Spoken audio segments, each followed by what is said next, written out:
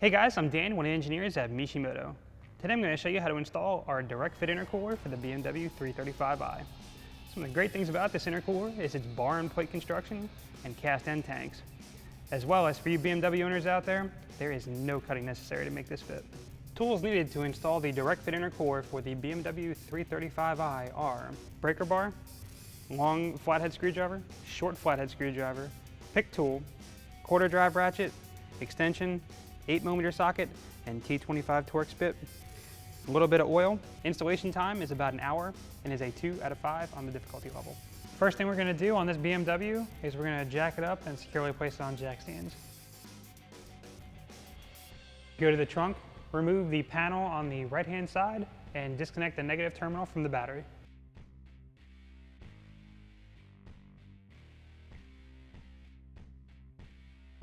Next, remove all the hardware from the lower splash shield and then remove the splash shield.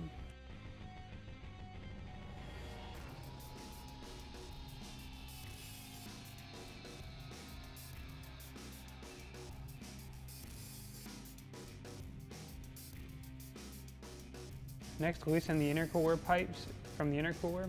To do this, you're going to go ahead and pull down on the connection tab and then push back on the pipe a little bit.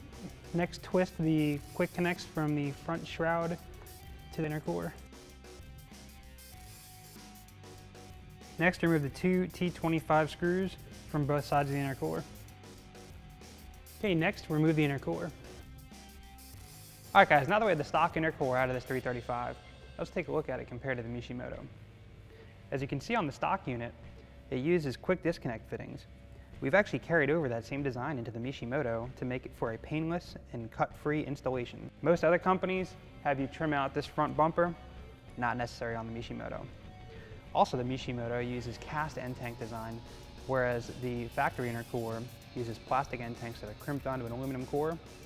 This over time is going to become brittle and possibly crack. Also, under high boost, it could pop off on you. Before we put the Mishimoto intercooler up into this 335, we're gonna wipe down the CNC fittings that are on the ends of the intercooler pipes, you know, get off any dirt and debris that's built up over time where they've sat in the factory intercooler. And then we're gonna go ahead and take a little bit of oil and just lube up the O-ring for an easier installation of our intercooler. The only thing we have to do before we put this intercooler in is we're gonna swap over the factory retaining clips and put them onto the Mishimoto intercooler.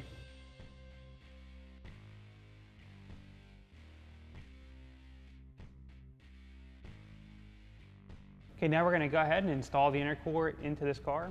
As you're putting it up, don't be so much worried about lining up where the bolt holes are, but at first, lining the CNC inlets on the intercooler pipes into the CNC fittings that are on the intercooler.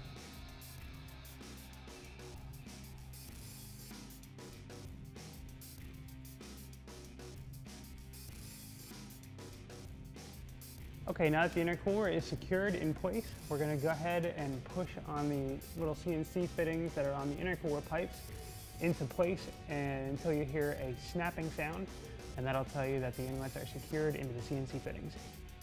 Next step, reinstall the bottom splash shield.